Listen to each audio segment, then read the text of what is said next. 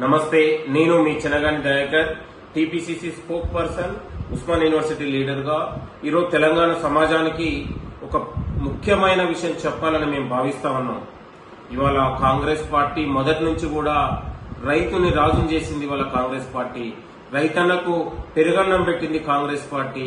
ఇవాళ పురుగుల మంది పెట్టి రైతులకు ఉరితాలు ఇచ్చింది బీఆర్ఎస్ పార్టీ కేసీఆర్ ప్రభుత్వం అనేది అందరికీ తెలిసిన విషయం. తొమ్మిది సంవత్సరాలుగా కేసీఆర్ రైతాంగానికి ఏం చేశాడో చెప్పగలడా?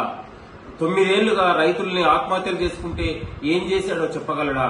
తొమ్మిదేళ్ళుగా రైతుల మీద మొసలి కన్నీరు గారుస్తూ కేంద్రం తీసుకొచ్చిన బీజేపీ తీసుకొచ్చిన నల్ల చట్టాలకు మద్దతు ఇచ్చినటువంటి ద్రోహి కేసీఆర్. ఇవాళ రైతుల గురించి రైతు సంక్షేమం గురించి మాట్లాడడం చాలా సిగ్గుపడతా ఉన్నాం. కాంగ్రెస్ పార్టీ ఎప్పుడు కూడా రైతు పక్షపాతి రైతన్నలు కడుపులో పెట్టుకుంది చూసుకుంది కాంగ్రెస్ పార్టీ మాత్రమే. రైతన్నలకు పెరుగన్నం పెట్టి రుణమాఫీ చేసి కడుపులో పెట్టుకొని చూసి కన్నీళ్ళను దూసినటువంటి చరిత్ర ఇవాళ కాంగ్రెస్ పార్టీది.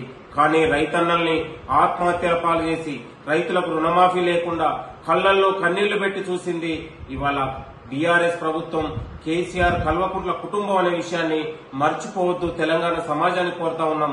కేవలం ఒక కాంగ్రెస్ పార్టీ ద్వారానే ఈ దేశంలో ఈ తెలంగాణలో రైతన్నలకు సంక్షేమం ఉంటది రైతన్నలకు అండ ఉంటది రైతులకు రుణమాఫీతో పాటు రైతులకు అన్ని రకాల ఆదుకునేది ఒక్క కాంగ్రెస్ పార్టీ మాత్రమే కూడా ఈ సందర్భంగా గురి చేస్తూ రైతన్నలు అధైర్యపడద్దు. కేసీఆర్ చేస్తున్న కుట్రలను రైతులు తిప్పికొట్టండి. మీరు మీరు మీ పొలాల్లో మీ వరిసేనల్లో రైతు కేసీఆర్ని దిష్టిబొమ్మని దగ్ధం చేయండి.